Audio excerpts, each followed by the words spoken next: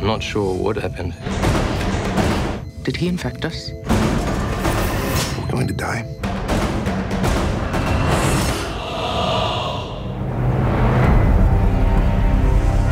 Late last night, a military listening post received a distress call from a private research base owned by Arctic Biosystems.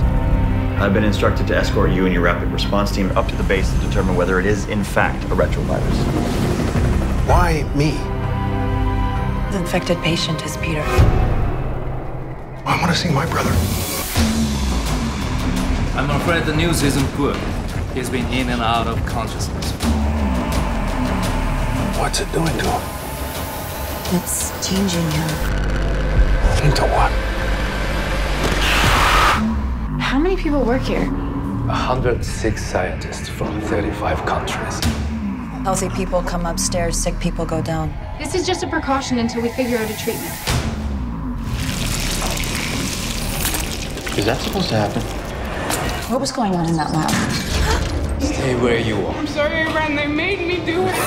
This thing doesn't kill, it annihilates. I thought you had that situation under control. Maybe we give each other what we need, and just maybe we all get out of here alive. If you had any idea what they were doing here, you'd be getting the hell out yourself. I don't think you know a damn thing about this virus. People are panicking. We risk losing control of the base.